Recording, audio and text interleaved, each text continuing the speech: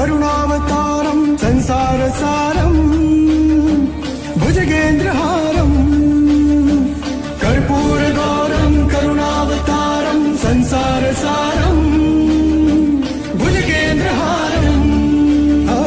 सदा वसन्तं हृदयारविन्दे।